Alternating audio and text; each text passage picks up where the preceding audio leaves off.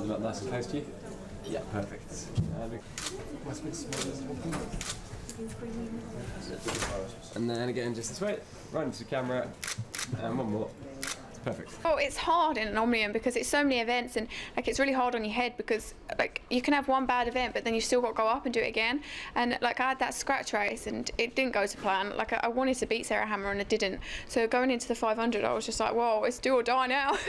got nothing to lose. So and the crowd helped so much. Like they just basically brought me home.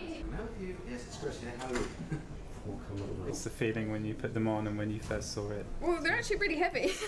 so the first feeling is like, geez, I need to get these things off. But yeah, I'm so proud, like, and I'm so pleased that I won too.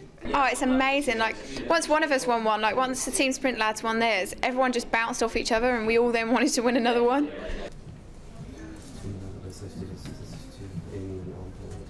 Um, I mean, I would like to like be the next one. Obviously, I don't want to step into her shoes as Vicky's like such an inspiration to me, and I don't think she can ever be replaced, to be honest. But yeah, I mean, if I can inspire as many people as Vicky have, yeah, that would be great.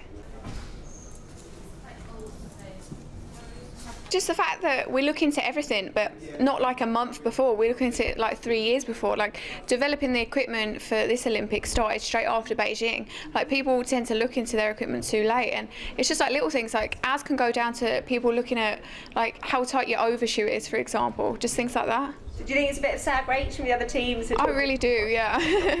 I mean, everyone wants to be part of GB, don't they? And a huge smile, big